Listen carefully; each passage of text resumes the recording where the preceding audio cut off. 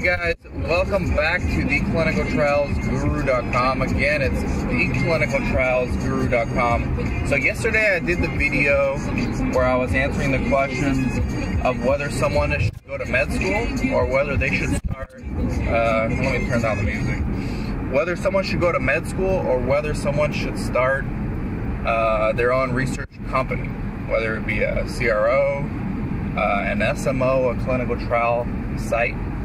Uh, and then I got another question, and I, have gotten this question often, and I've usually uh, answered. I usually get this question through phone call when people call me 949 415 6256. Call me for any consulting needs you may have, um, or just if you have random questions. So I get this question a lot via phone, not surprisingly. Um, how much can you make in clinical research as an owner, as an owner of uh, your clinical research company? And the answer is just like in any other business, you could lose money, you can lose a lot of money, you can lose a little money, you can break even, you can make a little money, you can make a whole lot of money. It really boils down to what you want to do with it, what your skills are as an entrepreneur.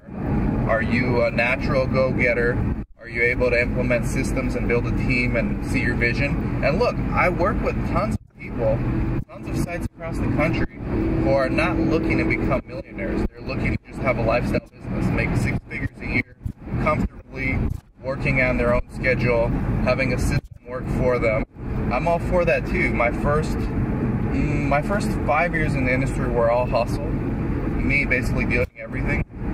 My next five years which I just am getting out of now, was more laid back. Like I was focusing on different projects. I became a realtor. My businesses were still running for me. So I've done that. Uh, I've had, mm, I've had numerous. Now I'm involved with numerous clinics, and each one has a different vision, a different objective. Um, in a nutshell, here's how it goes, okay? If you can keep your low enough, this is just for a research clinic, right? We're gonna talk about CROs in other videos. I'll get into a little bit of SMOs in this video. Uh, but start with one basic research clinic. You as the owner, uh, provided that there's only one of you, because if there's two owners, 50-50 split, obviously everything just divided by two. But if there's one owner, like me, my first five years, you can easily, easily make a $100,000 a year. All you need is like two or three studies uh, for that. And when I say keep your overhead low, I mean you are gonna be needing to do most of the work. So you'll be the coordinator. Yes, you can hire someone else, but you gotta be accountable for every single dollar that you spend. So what I do is hire the MAs to do the blood, vital, those are medical assistants. I train them to become research assistants. They do the blood work, vitals, lab work, all the clinical stuff. Then the PI does his or her things, and then I'll do everything else, regulatory, budget, recruitment, running the business, following the SOPs, making sure the protocol is being followed. You can even give the research assistant the, the data entry stuff, but you gotta be doing the queries and the quality assurance. That right there, provided your overhead, keep your overhead low, really low, you only need two or three, maybe four studies, depending on what kind of studies you're doing. I was doing psychiatric trials, CNS studies, so those pay a little more. Um, I was making six figures, 100K every year, easily. Uh, with three or four studies. And then I eventually started hiring people and I started doing less and less and but building a system. So obviously my cost went up, my overhead went up.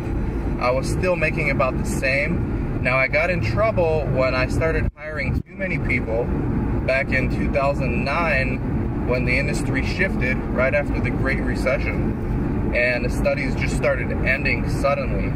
And I made the mistake of not letting people go. I had way too much staff, not laying people off, and to compound that, because I thought the industry would rebound quicker than it did, uh, to compound that, I actually, I was a contrarian, I still am a contrarian, it gets me in trouble at times.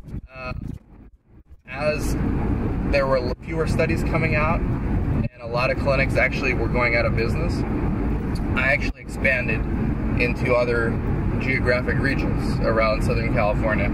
So I opened two more clinics in this downturn, and that is when I started losing money.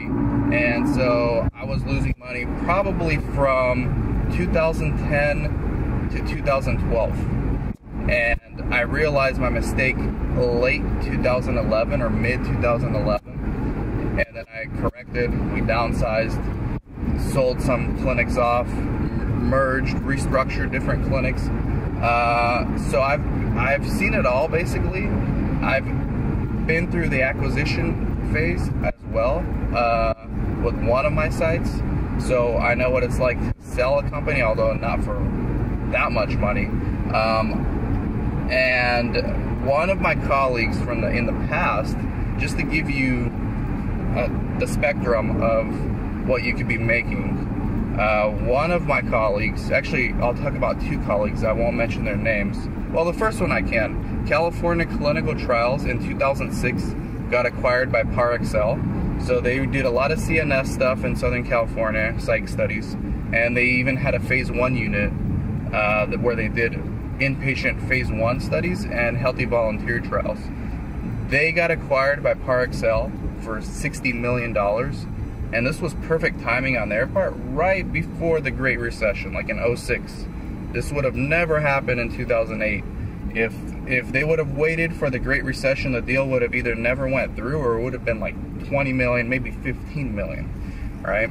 Uh, so, and those guys, those are two owners that started California clinical trials, and they're MDs. They're both MDs. Um, so this is public knowledge. I was not involved with CCT, but I knew people who worked there at that time. I was actually modeling my company after them because that's when I first got started in research.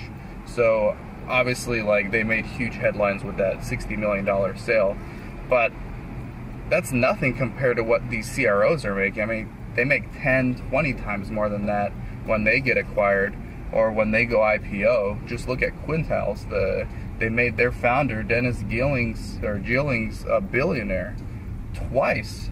He went IPO twice. So the spectrum is unlimited for most people. Most people want to know what's realistic for them. And unfortunately, most people are not cut from the same cloth as those guys I just mentioned. Uh, it takes a special kind of person to be able to uh, put away immediate satisfaction and gratification for longer term rewards. Okay, it's called being stoic. Uh, it takes a special kind of person to do that, and most people have families to support. So, what's realistic for you and for a lot of my clients is making six figures a year passively or actively, whatever you're comfortable with. If you want, if you don't mind rolling up your sleeves and doing all the work, you could probably make 200,000 a year. Um, if you want to be more laid back and have a few days off every week to spend with the family, you can hire some people. Obviously, your overhead goes up as long as you're still doing the QA or you have good systems in place. Can make six figures a year easily. Same if you have a few partners.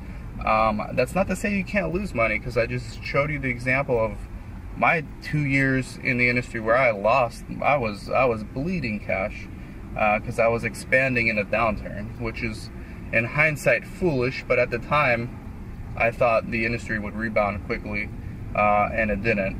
Uh, but I recovered, so yeah, that's the range. Six figures is not a problem. If you want to be a millionaire, you either need to follow the mm, California clinical trials model, where they started with a small clinic and then expanded into different clinics in their region uh, combine it with inpatient units where you can do a lot of healthy volunteer studies and phase one trials where you can really make a lot of money off of the bed days. Then you can make millions. I know one group, these ones I won't mention, but a lot of people know them. They do phase one studies and they make uh, their receivables every month are like $5 million. So, and there's only two owners there. So you can imagine what they're making. Yes, their overhead is high, but they're bringing in five million a year. So you can probably assume they're making six figures every month, easily, if not more, the owners. Um, but that takes a lot of sacrifice and investment, and that was not overnight success either. That's like a 10 year project. Uh, and they started getting successful probably in year five. So if you want instant income, start a clinic, uh, hire me as a consultant, obviously, shameless plug. Uh, you need studies, but you don't need that many, and then you need to keep your costs down and give it three to six months till the checks start rolling in, provided you get uh, you hit the ground running with studies as soon as you open, have at least one study, and then start screening and enrolling and randomizing in that one study. Let the checks come in. Uh, you can do six figures. All right. Let me know if you need help or if this helped answer your question. Dan at theclinicaltrialsguru.com and thank you very much for watching. This is Dan from theclinicaltrialsguru.com. Take care.